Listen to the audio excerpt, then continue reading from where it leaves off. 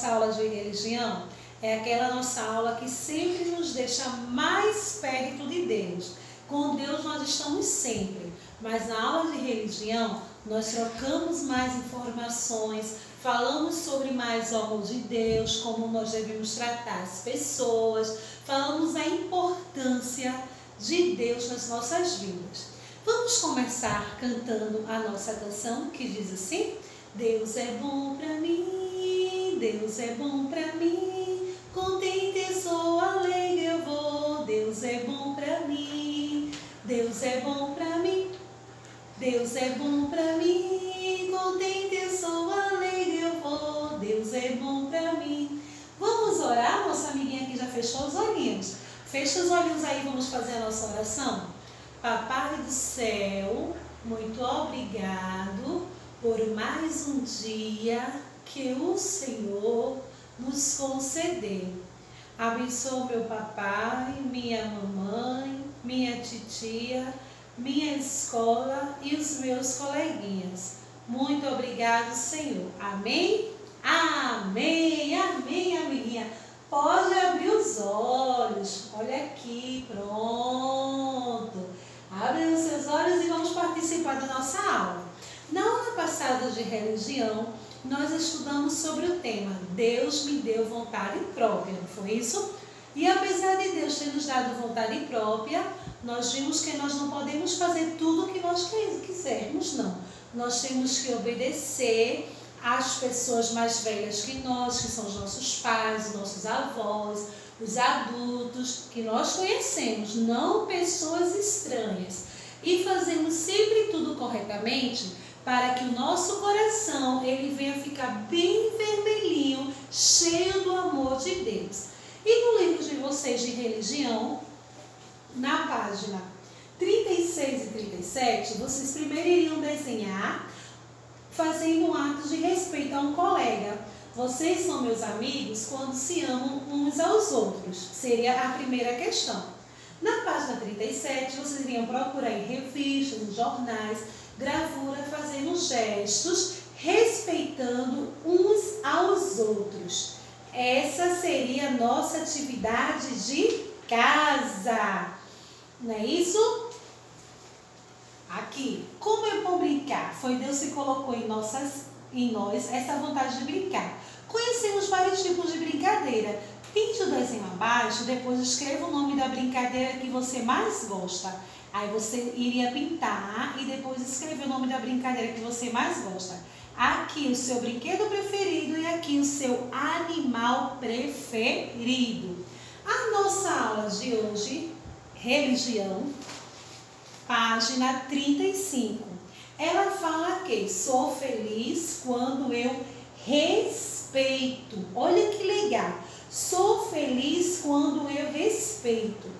Quando eu trato as pessoas que me cercam com carinho, quando eu trato as pessoas ajudando no que for preciso, eu estou mostrando respeito àquelas pessoas. Algumas regrinhas, elas são necessárias para um bom convívio escolar, para um bom convívio social, para um bom convívio em qualquer lugar. E uma dessas regras é o respeito temos que respeitar uns aos outros. Porque se eu não respeito os meus coleguinhas de acordo com as suas necessidades, como é que eu vou estar fazendo bem? Então eu tenho que respeitar para poder ter uma boa convivência. E tem uma pessoa que fica muito, muito, muito feliz quando nós fazemos essas coisas. Quem, quem é essa pessoa? Hum, Alguém falou aí que eu acabara de ouvir. Jesus. Jesus, ele fica muito, mas muito feliz quando nós fazemos as coisas corretas, quando nós tratamos as pessoas bem. Respeito faz com que Papai do Céu se sinta alegre, porque lá do céu vai dizer: Ah, aquela criancinha é uma criança nota mil e merece ser um adulto nota porque ele está fazendo as coisas corretamente. Você ama o seu amigo? Você ama seu vizinho? Você ama seu coleguinha? Hum, nós temos que amar uns aos outros. Como é que eu posso dizer à minha amiguinha Maria, eu te amo, Maria, se eu não fizer as coisas corretas? Como é que eu posso dizer, papai do céu, te amo, papai do céu, e na escola eu não tratar o meu amiguinho? Tá errado, sabe por quê? Porque eu nunca vi papai do céu, mas eu sei que ele existe. Mas eu, para amar papai do céu, primeiro eu tenho que amar todos aqueles que me rodeiam, para depois mostrar que amo de verdade Jesus. Porque eu nunca vi Jesus e digo assim: Senhor, eu te amo, e maltrato meu coleguinha na escola, pego a borracha dele escondido, pego o lápis, furo a mão dele, escondo o caderno do meu amiguinho. Isso é correto? Errado. Nós temos que agir corretamente ajudar o coleguinha que tem dificuldade em fazer atividade. Se o coleguinha não encontrou tal página, tia, eu posso ajudar? Tia, posso ajudá-lo? Pode, meu amor. Tia, eu vou emprestar um lápis, mas no final da aula, a senhora me lembra para eu pegar de volta? Sim. Então nós temos que fazer tudo corretamente para que Deus se sinta feliz conosco. Na página 36 do livro de religião, vocês vão desenhar um ato de respeito com o seu colega. Depois, abaixo, vai escrever assim: Vocês são meus amigos quando se amam uns aos outros. Quem é que fala essa palavra para nós? Ele mesmo, Jesus. Ele diz que nós somos amigos de Deus, nós somos filhos de Deus a partir do momento que eu amo o meu próximo. A partir do momento que eu amo meu amigo, meu vizinho, meus irmãos, eu estou mostrando sentimento de amor. Na página 37 do livro de religião, vocês vão procurar em revistas e jornais gravura de pessoas fazendo gestos de respeito.